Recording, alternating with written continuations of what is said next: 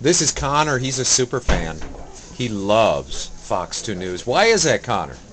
because everybody's so nice and it's so fun to watch. And uh, and uh, it's ever since it's been like a couple years and I've been watching it and you always do good.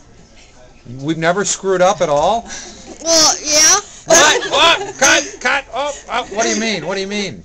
Like it's it's all it's always fun to watch because Tim Ezell and everybody always does good. That Tim's a kook. Yeah, he never screws up, that Tim. Hey, look, it's Timmy Oh, Zell. he just did. Wow. Yeah, it just kind of, Connor thinks of me, talks about me, and I show up. We had we had a really good blog vlog going, and then you screwed it up. See, we do screw up. There's proof positive. Sorry, see? Connor. See how it works, Connor? you can see that, can't you? Yeah. All right. Well, you keep watching Fox 2 News in the morning, okay? Okay. Okay. Where do you go to school? Beasley. Say hi to your teacher. Hi, Miss Meyerhoff. He's studying hard. Can't you see that?